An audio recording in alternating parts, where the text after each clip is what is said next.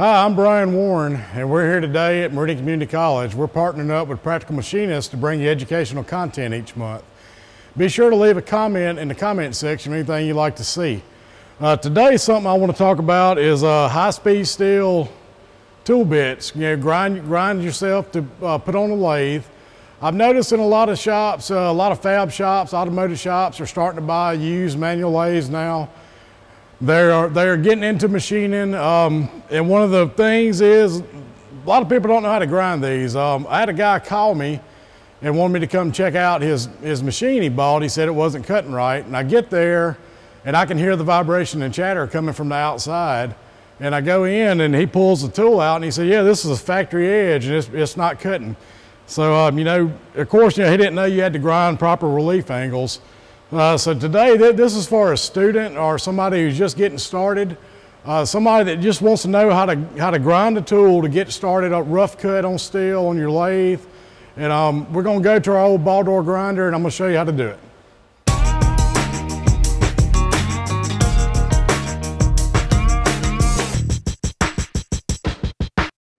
All right, so what I'm looking for is I'm looking for about a 15 degree, one side of the face, 30 degree on the other. It doesn't have to be precise. Uh, the main thing is you don't want to get the tool too hot while you're grinding it, and you don't want to get too sharp of a, of a point, and you don't want to get too blunt of a point. You're looking for clearance, but if you get too much clearance, then you create, create a weak point. So I'm going to start, and this I always start with the students, is you notice one side has a, has a slant to it already. We're going to use that to our advantage for clearance. All we have to do is clean it up. And I'm going to start by grinding my side clearance and I want it to rake down from the top to the bottom, go down just, just to clear. So that's about, a, I tell them to leave about a fingernail uh, thickness gap off the wheel. So I'm going to start by putting the bottom of the tool into the wheel and I'm going to leave a gap at the top and I'm going to let that grinding wheel work its way up to it. Now while you're doing this, you want to keep in mind you're shaping this flat. You don't want to roll it into the wheel. So I have my gap and it's starting to form, but I gotta, I gotta take the tool off and cool it off because if I let this get too hot, I anneal it and take the hardness out of the bit and it's no good anymore. So once I take off to cool it, I have to go back and get back in that same groove and just let the wheel continue to do the work all the way up.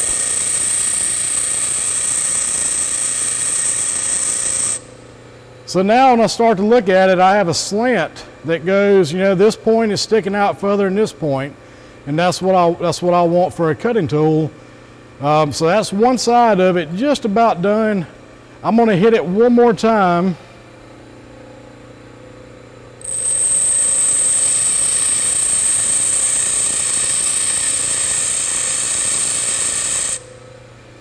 cool it off. And one thing I always tell the students is to look at the reflection of the light. If I'm seeing different shades of gray on here, then, then I have different flats and angles, and that's not good. I want one smooth surface to come up, one light reflection off of it. So now I'm gonna work on getting my front clearance. I just have to clean this up a little bit from, from where it was. So all I'm gonna do for this, the same principle, is I'm gonna put the bottom of the tool to the grind wheel I'm gonna leave a gap at the top and I'm gonna let the tool work its, let the wheel work its way up the tool. This one does take a little longer, so you may have to cool it off a few times to be able to do it. And I'm just, I just have it coming up nice and slow, not letting my tool get too hot.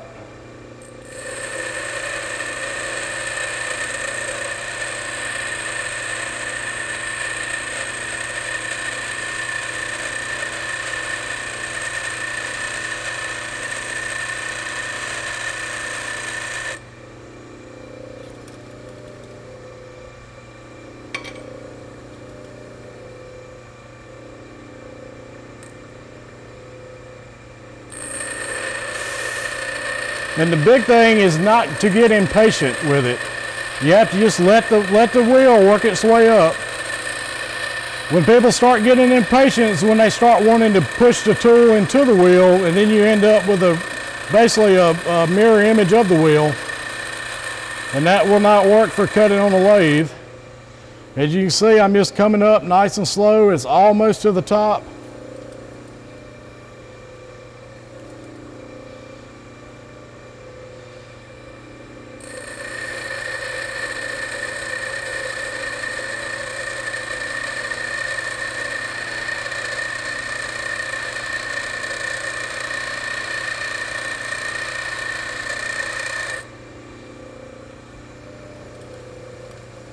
I'm gonna take one last pass on it to let it smooth out. Real light grinding. Don't put, don't push into the grinding wheel. Just let the wheel do the work, work its way up.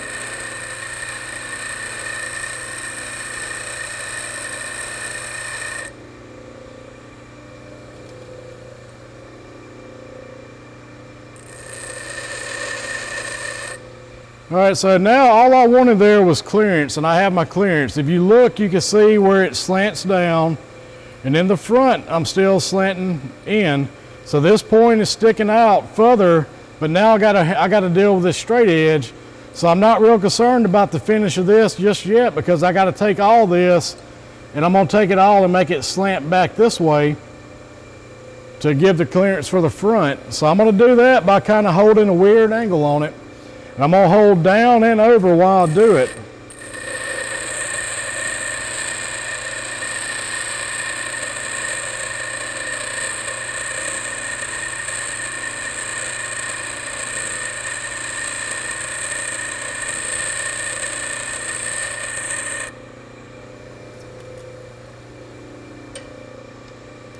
Be careful not to let your tool get too hot.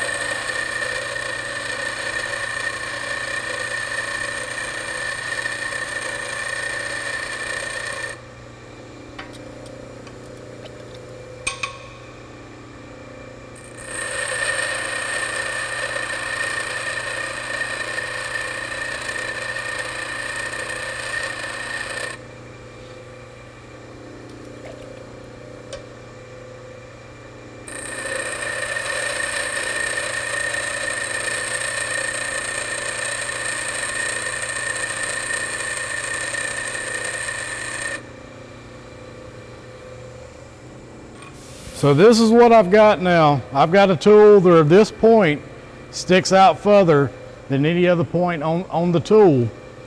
Where I'm slanting back from the top, I'm slanting down, and I'm slanting down from the front. Um, now I'm just gonna go in, I'm gonna touch up, and I'm gonna put a little bit of top relief on it. So I'm just gonna grind from back to the, back to the top forward, and my tool will be ready to cut, and we'll take a test cut with it to show you.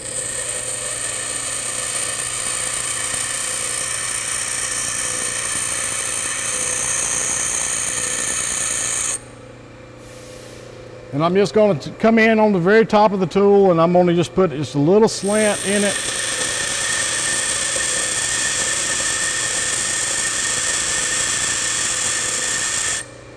And this is the part where it wants to overheat the most.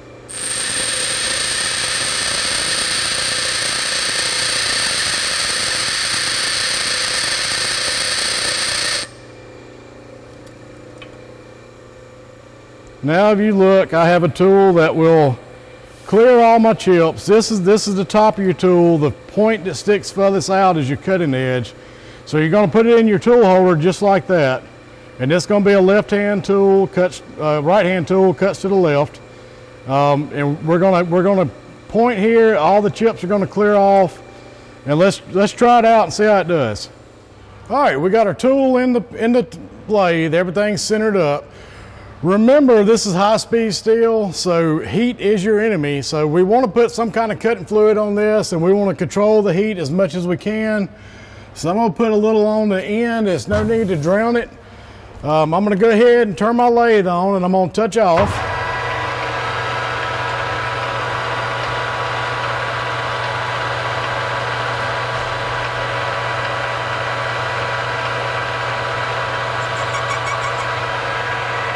I'm going to take about 25 thousandths just to see how it's doing.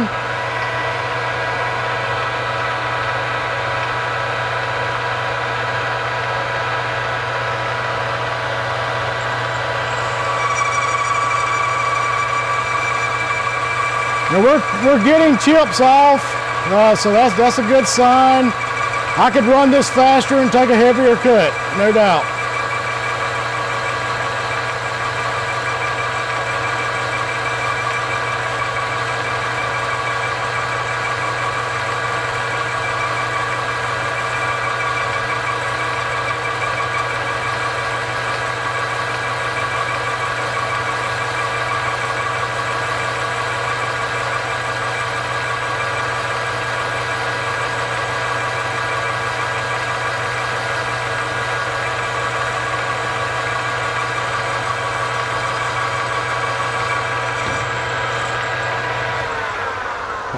Mike.